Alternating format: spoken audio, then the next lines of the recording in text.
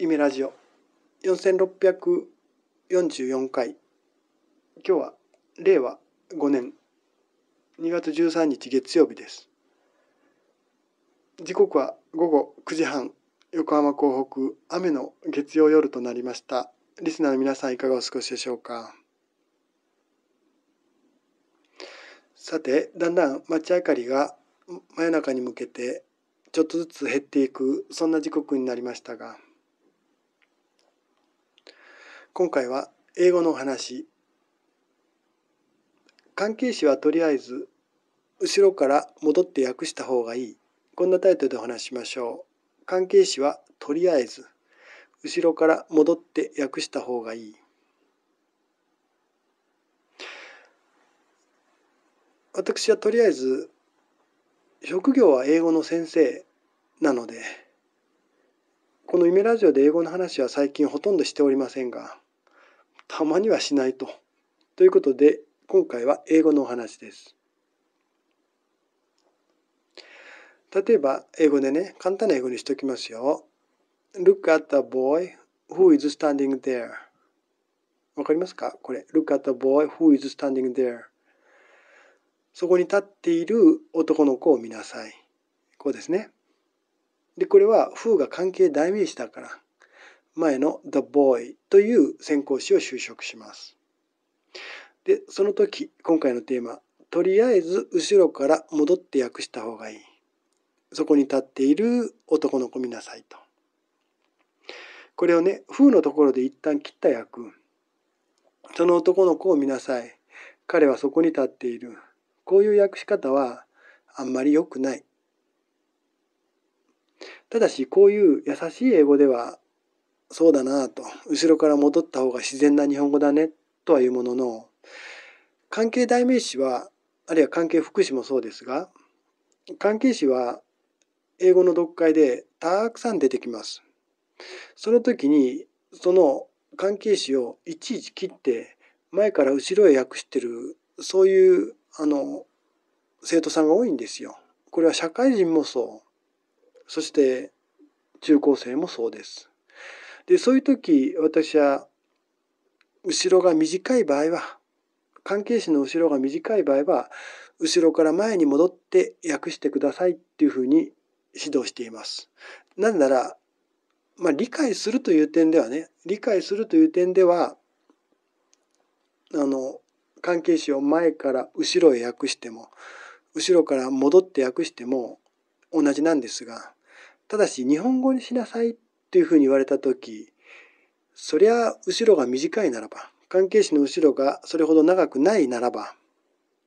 後ろから戻って訳した方がいい日本語ができるそれはさっきの「Look at the boy の」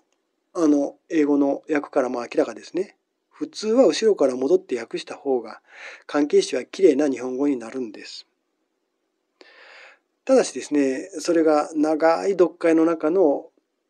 長文の中の関係詞になった途端なんとなく切って訳したくなるんですね。でおそらくそれは中高生がおしなべてそういう訳を作ってくる社会人もそういう訳作ってくるってことはここ10年20年の英語教育がその関係詞を切って関係詞の前で切ってその前の部分から訳して関係詞の後ろへと流すっていうそういう指導を多分学校でやってるからじゃないかと私は思います。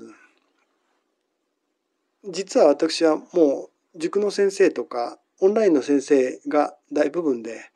学校で教えるっていうのはもうあの少ないんですねその経験は。その少ないわけですからそこであの学校のその本当に学校でやってらっしゃる先生方との、まあ、触れ合いっていうのもあんまりないので実は学校で現実に英語の先生がどう教えてんのかよくわかんないんだけどけれどあの生徒さん見る限りどうやら関係詞は切って訳すで前から後ろへと流して訳すっていう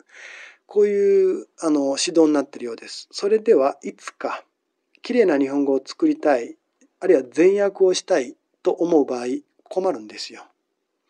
特に京都大学や大阪大学みたいに長い英語を全訳しなさいという問題設定の場合はもうお手上げになってくるでしょう。そんなことをやっていれば。もちろんなんかとりあえず後ろから戻った方がいいというそういう言い方をしてるっていうのはね関係詞の前にカンマがあって非制限用法の場合関係詞の前にカンマがあって非制限用法の場合は確かに前から後ろへと流して訳した方がいい。でもそれは普通にあの文法の方に書いてありますよね。非制限用法は後ろから戻らない方がいい。それはその通りだと思う。あるいは関係詞の後ろが長い場合関係詞の後ろが2行とか3行とか渡ってる場合はそれはあのその関係詞の前で切ってそこまで一旦訳し切ってそしてそれはとかこういう感じでつなげるというのもやり方でしょう。ただし後ろがそんなに長くもない短い関係詞の後ろがあるいはカンマがあの先行詞と関係詞の間にあるわけでもない。そういう普通の英語なのにいちいち関係詞のところで切って訳しているとそれは日本語として非常に分かりにくい。つまりさっきの「ルック・アッツ・ボーイ」で言うと「あの少年を見なさい。彼はそこに立っている」というその変なあの日本語になってしまうわけですね。学校の先生がそういう関係詞を切って訳すという指導をしているのはねその理由はわからないわけではない。つまりその方が日本語の語順と英語の語順がある程度一致するよね。で学校の先生が好きなあの all English みたいなその all English のを教えると all English English で教えるというそのラインに立ったとしてもその英語の語順と日本語の語順がある程度一致する方が望ましい。けれどやっぱりここは基本に立ち返り英語と日本語は言語として全然違うあのものなのでね、英語と日本語がまあ言語的に一緒だっていうんだったらそういう語順をできるだけ一致させて訳すというのにも意味があるでしょうが全然違うものですから英語と日本語は。で日本語の中に関係代名詞の概念がないので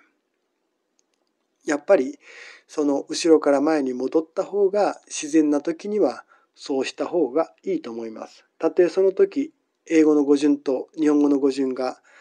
バラバラになってしまったとしてもねだってその方が日本語が綺麗なんだもんそれは。おそらく英語の語順と日本語の語順を合わせて訳すっていうことをしていればその日本語の訳を作る日本語の訳を作るということを全く考えない場合つまり英語を理解するだけでいいつまり英語を理解した後丸か×かの内容審議だけでいいんだったらつまり私立大学の私立大学の早稲田とかね慶應義塾はなかなかそういうわけにいかない慶應義塾は和訳しなさいとか英作文しなさいが出てきますからなかなかそうはいかないんですけど早稲田を含めその下のマーチレベルからずっと下に至るまで私立大学の英語はそれでなんとかなっちゃうんだ。だから結局次第英語だけやってその和訳の訓練を受けないそういう人の場合はこの関係詞を後ろから基本的には戻って訳した方がいいということもあんまり意味はないかもしれないけどただしやっぱ英語を日本人が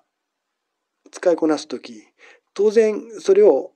まとまった量の英文を日本語に直すこれはあるんですよ。当たり前ですよ。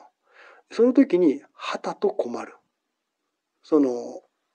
関係詞を切って訳すっていうそういうことばっかりやってる人は困っちゃうんですよ。日本語が作れない。あるいは作った日本語がむっちゃくちゃっていう。私は日頃の授業の中でその私立大学へ行こうとする人もでもちろん国立大学へ行こうとする人にもその英語を和訳しなさい全訳してきなさいってことをよく課します。社会人の方をお教えする場合もそうです。全訳してきてねと。でその全訳は社会人の場合英検の準1級とか1級のテキスト